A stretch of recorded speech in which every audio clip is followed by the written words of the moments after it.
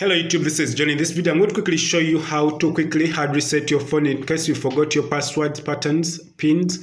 So in my case, my phone is powered off. I'm going to use these buttons and this is an Infinix S, S5. So I'm going to click the volume up button and the power key in order to, to start the hard reset process. So what happens here, you're going to press and when you see the Infinix logo you get you release the power button. Then to take you to the this part where you says no command.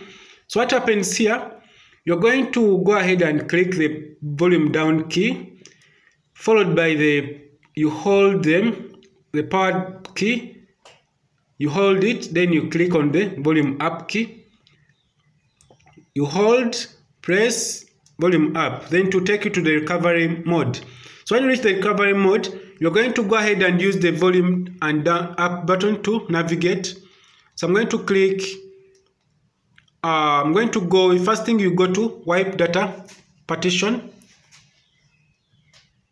Then click volume down click yes. Then this will wipe the cache in your phone.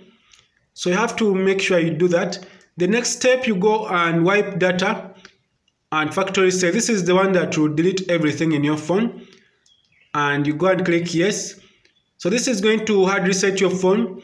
So to complete the process, you're going to reboot your phone and then to start installing the, the need, needed software to complete the hard reset process.